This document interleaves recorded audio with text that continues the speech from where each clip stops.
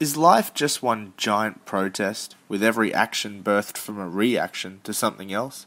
Whether our behaviour is affirming or challenging, we're still responding to that which is foreign. If this is so, may we never shy away from the unknown, the unfamiliar, or the untested, lest we shy away from life itself.